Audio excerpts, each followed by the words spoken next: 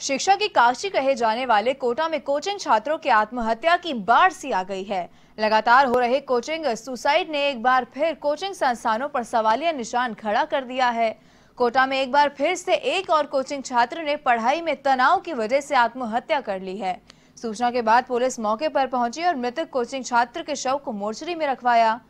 जानकारी के अनुसार मृतक कोचिंग छात्र रोहित सुवालका राजस्थान के भीलवाड़ा का निवासी था। जो कि कोटा में रहकर एलन कोचिंग संस्थान से मेडिकल की तैयारी कर रहा था।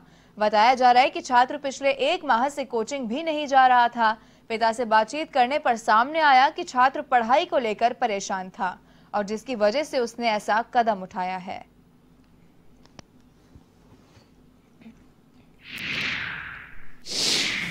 अप्रैल 2019 में एलन कोचिंग से नीट की तैयारी कर रहा था जो कल दिनांक बारह नौ उन्नीस को समय साढ़े आठ बजे अपने रूम पर इंदिरा बिहार बी एक सौ छियासी में किराए से रह रहा था।